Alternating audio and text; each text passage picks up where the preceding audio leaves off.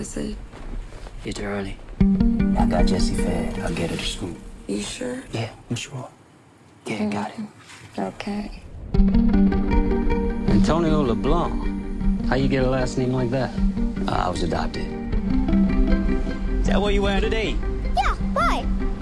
Oh, nothing. It's a good choice. Come on, let's go.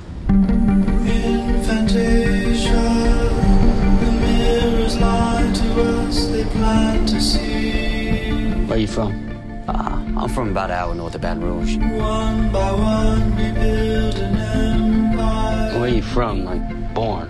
Uh, I was born in Korea. where devils roam I got this baby on the way, and I'm just looking for another job. Kathy? Hey, where you going? What's where going you going, on baby? here? Hey, isn't that your kid? Let's go. Hey, did I say you Bye, can leave?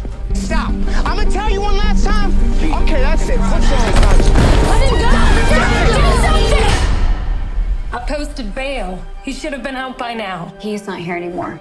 ICE took him. What? I just don't understand how they can deport him. I was brought here when I was three. Can't we do something about this? I mean, listen to him. Look at him. He's American. ICE is targeting people like you, adopted or not. I've been here for over 30 years. You also have a criminal record. Bro? Come on, what you here for?